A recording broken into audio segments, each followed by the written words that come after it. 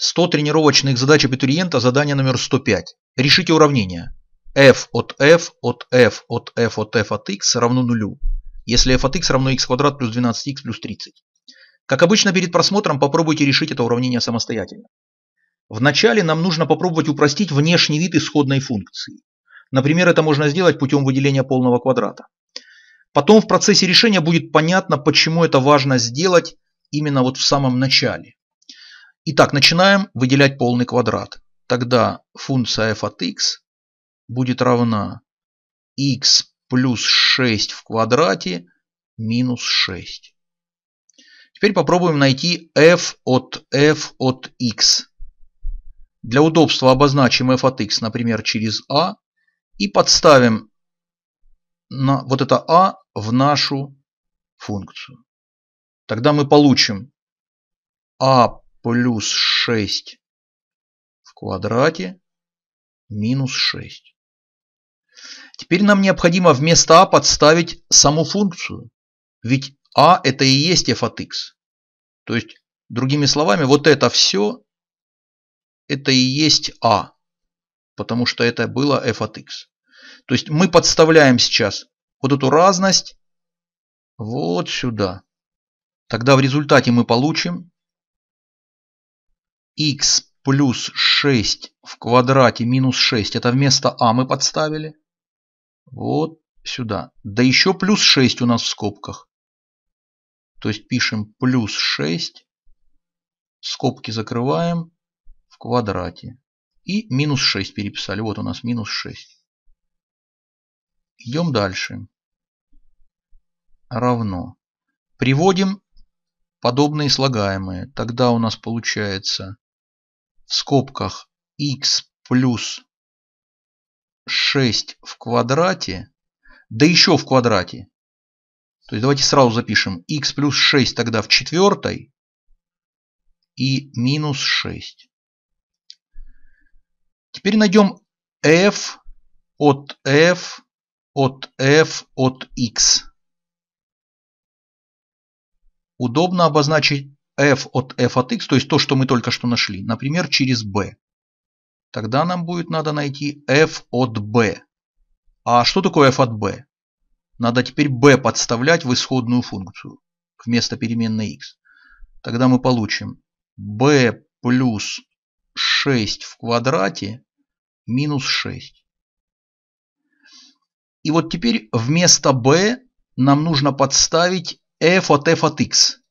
А что такое x? Это то, что мы только что перед этим нашли. То есть вот оно наше b. Давайте сразу покажем.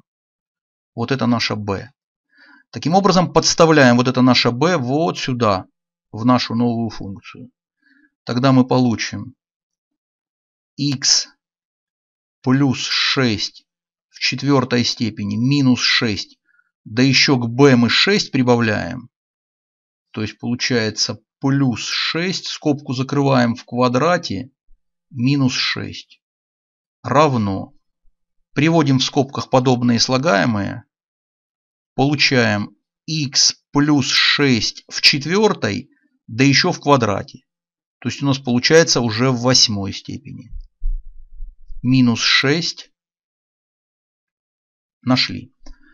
А далее находим f от f от f еще раз от f от x. Так, сколько у нас тут? 4 скобки, да, получается? Теперь удобно f от f от f от x обозначить, ну, например, через c. То есть у нас тогда получится f от c. А что такое f от c? Подставляем c вот сюда, в нашу исходную функцию. И получаем c плюс 6 в квадрате минус 6 равно. Теперь вместо c подставляем то, что мы только что нашли. Давайте покажу. То есть вот это вот и есть c. Тогда у нас получается, скобки открываем, x плюс 6 в восьмой степени минус 6, да плюс еще 6. Вот где плюс 6 у нас. Скобки теперь нужно закрыть возвести в квадрат и вычесть 6. Получаем, приводим подобные слагаемые. В скобках тогда у нас остается x плюс 6 в восьмой, да еще во второй. То есть у нас получится x плюс 6 в шестнадцатой до минус 6. Ну и теперь мы как раз находим нужную нам функцию f от f от f от f от f от x 5 скобок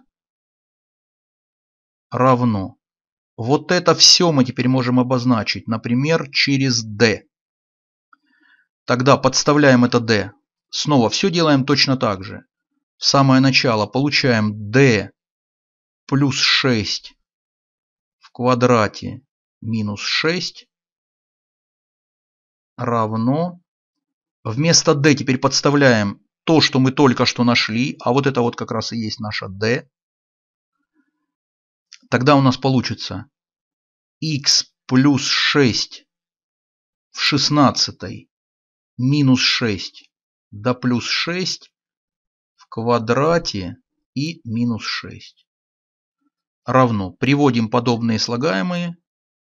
Получаем x плюс 6 уже в 32 степени минус 6. То есть мы как раз нашли левую часть нашего вот этого уравнения. Ну и теперь осталось только приравнять то, что мы нашли к нулю. То есть в результате мы получаем x плюс 6 в 32 степени минус 6 равно нулю. Откуда x плюс 6 в 32 степени равно 6 извлекаем корень 32 степени и получаем x плюс 6 равно плюс-минус корень 32 степени из 6. Окончательно x будет равен минус 6 плюс-минус корень 32 степени из 6. Пишем ответ. Задача решена. Кому решение задачи понятно, не забудьте поставить лайк и напишите несколько слов в комментариях к этому видео.